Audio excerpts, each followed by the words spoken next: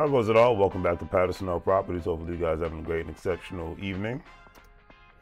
Well, this article is very, very interesting because it definitely shows how one um, yet um, can have the right yet simple investment can take you a very, very long way, family. According to the article that I read the other day, Louis Heron um, spent $2,300 on an acre of teen, and that was a very beautiful time to buy real estate. He knew um, between 2009 and 16.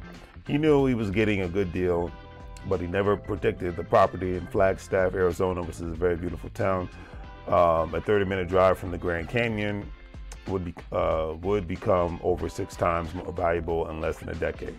Now, the acre, which currently holds two tiny homes, is worth up to $15,000, and that is what it's all about at the end of the day, family, United States of America seeing an asset or potential asset and placing your money and time into it in order for you to see it increase in value all at the same time.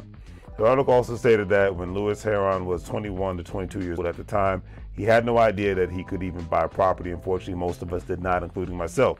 He started. He stated that I, ste- I stepped foot on the property and knew I had to take advantage of this opportunity, even if I didn't uh, do anything with it. He added. He said, and I quote, "I spent all of my savings on this land." Like Nipsey Hussle stated, all money in and no money out. He stated he stated that despite its spike in value, he's unlikely to sell it anytime soon. The tiny houses combine to create his bedroom and living spaces, and it's only 30 minutes from his full-time desert hiking business, which he started three years ago. So before I go on, one thing all I have to say is that it sounds like, in a sense, that Louis Heron has created his own paradise. The article stated he um, how he acquired the land and why it's risen so much in value. 2011, Heron dropped out of uh, Ball State University to follow his wonder wanderlust. He says he washed dishes in a restaurant near Kendall Park before becoming a tour guide for park employees. In June 2012, he took a similar role at Glacier National Park in Montana before selling Arizona right outside the Grand Canyon in 2020 in 2013. He stated, and I quote, a friend of his, um, $1,000 for three acres of land. Uh, with another friend, the trio bought the parcel, uh, giving each person an equal piece of an equal um, price. Before I go on, this is happening next door by having the right people around you. Not all about so stated that Heron says he purchased the first um, prefabricated tiny house in 2015 uh, but did, didn't actually move onto the land until May 2017 following an increase in rent, prices. The house was too small to fit most standard home amenities, so he bought a second prefabricated tiny home from a neighbor and divided it up his living, living quarters between the two structures. And that's just one thing that, you know, this is how a lot of people used to live uh, back in the day.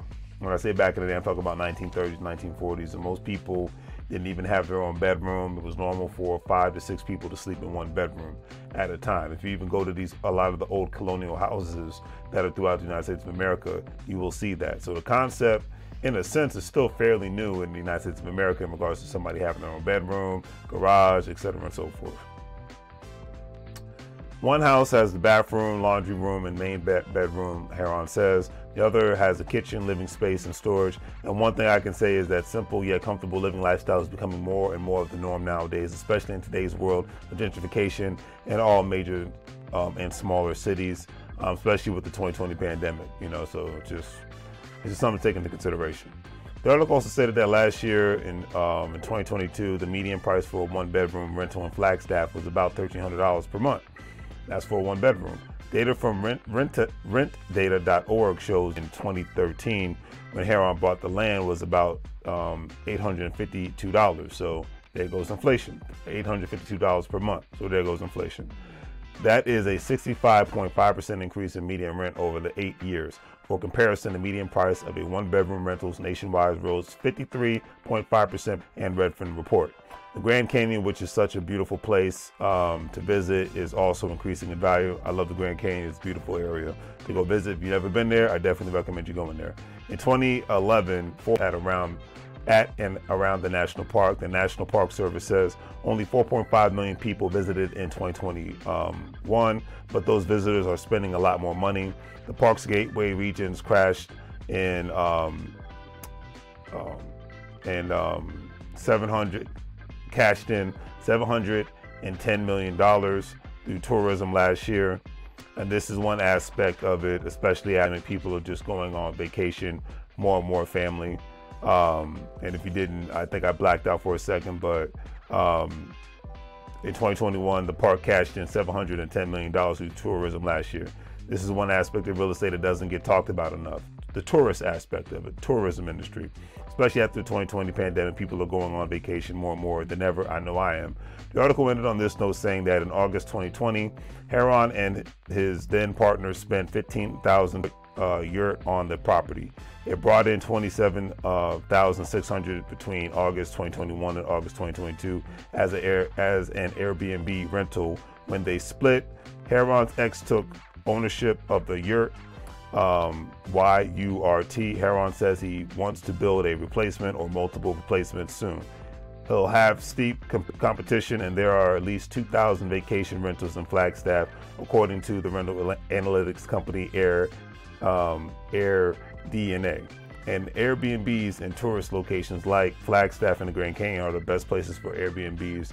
Uh, Heron says some adjacent slices of land host up to six Airbnb list, listings each.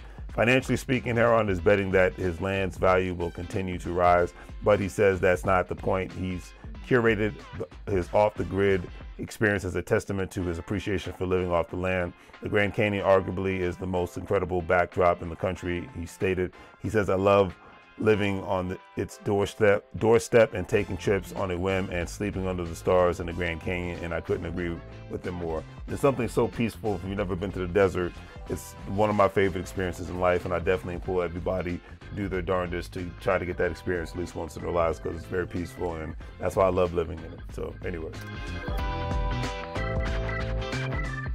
On that note, family, if you do not realize, oops, I think uh, make sure everything is squared away. So, anyways, uh, if you don't know Patterson Oak Properties, uh, we wholesale real estate on a multitude of levels, uh, mostly in the in Pennsylvania area between um, Harrisburg, Allentown, Pennsylvania, and um, Reading, Pennsylvania. So, give us a shout out.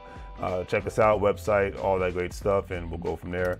If you're a stock market investor, crypto investor, individual, retirement account investor, don't forget to check out Webull Stash, acornscrypto.com, Coinbase, all those platforms. You'll be able to make some money specifically with Webull, makes extra, um, get a couple of free stocks. A part of, the, um, I am a part of the Gold Standard Partners. We not only have the opportunity to buy crypto, but you'll have the opportunity to buy non-fungible tokens known as NFT thing, make money out their NFT and um, crypto purchases and all that great stuff. And on that note, do the great three things, like, share, and subscribe.